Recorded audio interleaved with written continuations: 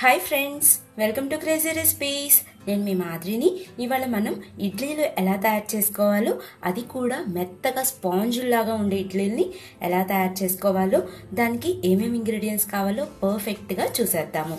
ఒక కప్పు మినపగుళ్ళు కావాలండి. తెనాలి డబుల్ హార్ట్స్ మినపగుళ్ళు అయితే పిండి బాగా ఒదుగవుతుందండి. అలాగే కప్పులు ఇడ్లీ రవ్వ. ఇడ్లీ రవ్వని తీసుకునేటప్పుడు ఇడ్లీ రవ్వ మాత్రం కంపల్సరీ సన్నగా ఉండే రవ్వను తీసుకోండి. అప్పుడే మనకి ఇడ్లీలు చాలా మెత్తగా ఉంటాయి. అలాగే ఒక కప్పు అటుకులు. అటుకుల్ని కూడా మనం ముందుగానే నానబెట్టేసుకోవాలి.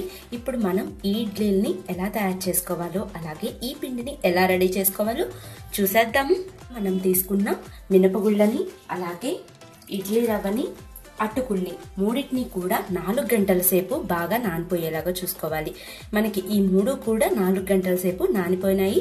ఇప్పుడు మనం ఏం చేయాలంటే నెక్స్ట్ మనం ఏం చేయాలంటే ముందుగా మనం క్లీన్ చేసి నానబెట్టుకున్న ఈ మినపగుళ్ళని గ్రైండర్లో యాడ్ చేసుకుందాము. ఇలాగా వితౌట్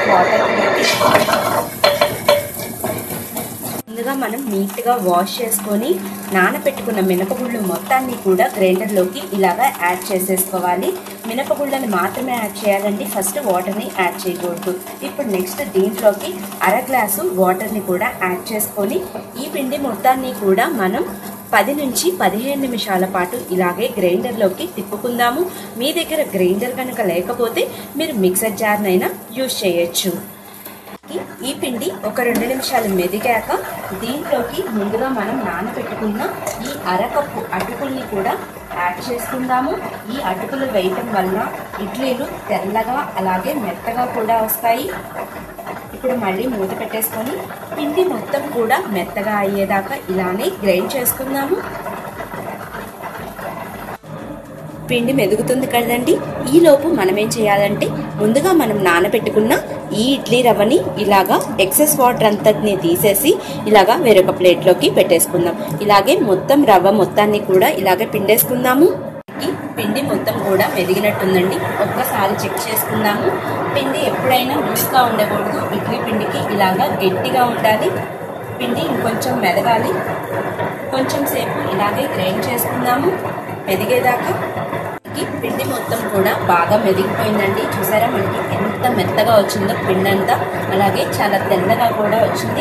ఇప్పుడు ఈ పిండి మొత్తాన్ని కూడా మనం వేరొక బౌల్లోకి ట్రాన్స్ఫర్ చేసుకున్నాము నేనైతే ఇలాగా చేతితో తీస్తున్నాను. మీరు కావాలంటే గ్రైండర్ ఆఫ్ చేసుకొని అప్పుడు తీసుకోండి కేర్ఫుల్గా ప్రాక్టీస్ ఉంటే కనుక ఇలాగ తీయండి. కానీ చాలా జాగ్రత్తగా తీయాలండి. పిండిని అంతటినీ కూడా ఇలాగే బౌల్లోకి తీసేసుకుందాము. గ్రైండ్ అయిన ఈ ఇడ్లీ పిండిలోకి ఒకటిన్నర స్పూను కళ్ళుప్పుని యాడ్ చేసుకుందాము. కళ్ళుప్పుని వాడితే ఈ ఇడ్లీ ఇంకా చాలా టేస్టీగా ఉంటాయండి. మీ దగ్గర లేకపోతే మీరు సాల్ట్ అయినా యూజ్ చేయొచ్చు. అలాగే ముందుగా మనం పిండి పెట్టుకున్న ఈ రవ్వని కూడా యాడ్ చేసేసుకుందాం. ఇడ్లీ రవ్వ మొత్తాన్ని కూడా ఇలాగే మొత్తం ఇడ్లీ రవ్వని వేసుకుందాము. రవ్వంతా కూడా ఇడ్లీ పిండిలోకి బాగా కలిసేలాగా ఉప్పు దీన్ని మొత్తాన్ని బాగా కలుపుకుందాము. పిండి మొత్తం కూడా మనకి బాగా కలిసిపోయిందండి. ఇప్పుడు ఈ పిండి మొత్తాన్ని కూడా మనం నాలుగు గంటల సేపు ఇలాగే వదిలేద్దాము అప్పుడు మనకి పిండి లైట్గా పొంగి చాలా టేస్టీగా ఉంటాయి. ఈ ఇడ్లీ మొత్తం కూడా ఇలాగే వదిలేద్దాము పిండిని. మనకి ఇడ్లీ పిండి నాలుగు గంటల సేపు బాగా నానిపోయిందండి.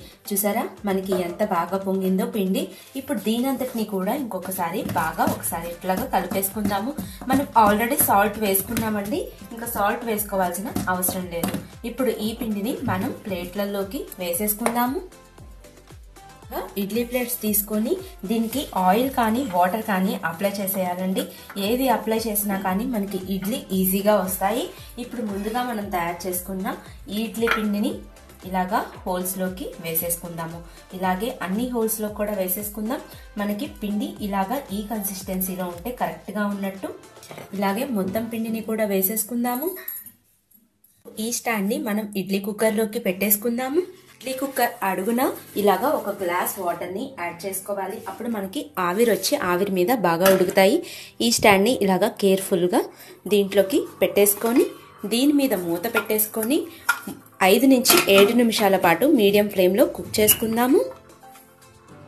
చూసారా? మనకి ఇడ్లీ మొత్తం కూడా బాగా కుక్ అయినాయి.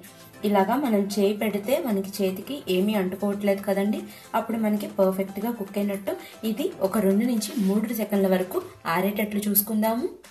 మనకి ఇడ్లీ రెండు సెకండ్ల పాటు చల్లారిపోయిందండి. ఇప్పుడు మనం కొంచెం తడి చేసుకొని ఒక స్పూన్కి ఈ ఇడ్లీని మనం తీద్దాము. అప్పుడు మనకి ప్లేట్కి ఏమీ అంటుకోకుండా నీట్గా వస్తాయి. చూసారా? మనకి ఎంత బాగా వచ్చాయో ఇడ్లీ.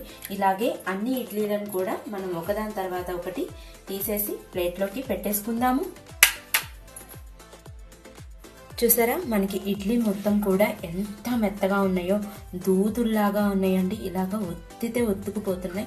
చూసారా? మనకి ఎంత స్పాంజ్ లాగా వచ్చాయో ఇడ్లీ. మనకి హోటల్లో ఇడ్లీ కన్నా ఇంకా సాఫ్ట్గా అలాగే తెల్లగా కూడా వచ్చాయి. దీంట్లోకి మనం కారపొడితో కానీ సాంబార్తో కానీ అలాగే పల్లీ చట్నీ కొబ్బరి చట్నీతో తింటే చాలా టేస్టీగా ఉంటాయి. మీరు కూడా ట్రై చేయండి. ఇడ్లీ మీకు కూడా బాగా నచ్చుతాయి. నా వీడియో మీకు నచ్చింది అనుకుంటున్నాను. నా వీడియో కనుక మీకు నచ్చినట్లయితే నా వీడియోస్ అన్నిటిని లైక్ చేయండి షేర్ చేయండి. అలాగే నా ఛానల్ని సబ్స్క్రైబ్ చేసుకోండి. నా ఛానల్ని సబ్స్క్రైబ్ చేశాక పక్కన బెల్ ఐకాన్ వస్తుందండి. దాన్ని కనుక యాక్టివేట్ చేస్తే నా లేటెస్ట్ వీడియో అప్డేట్స్ అన్నీ మీకు అవైలబిలిటీలో ఉంటాయి.